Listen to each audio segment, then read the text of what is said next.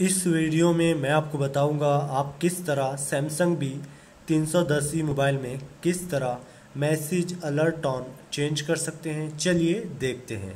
तो आपको इसके लिए सबसे पहले सेटिंग्स में जाना है, फिर आपको प्रोफाइल्स में जाना है, और उसके बाद आपको नॉर्मल में ऑप्शंस में जाना है, और फिर आपको एडिट में सिलेक्ट करना है, और यहाँ पर आपको नीचे आना है। यहाँ पर आपको दिखेगा मैसेज अलर्ट ऑन तो यहाँ पर दिखा रहा है चेंज के लिए आपको इस पर क्लिक करना है। तो मैं इस पर क्लिक करता हूँ। और यहाँ पर आपको सिक्स मैसेज टॉन दिखाई देंगी।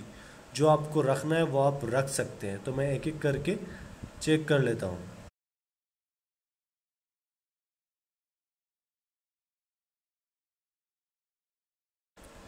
मुझे ये टॉन रखना है तो मैं इसको सेव कर लेता हूँ।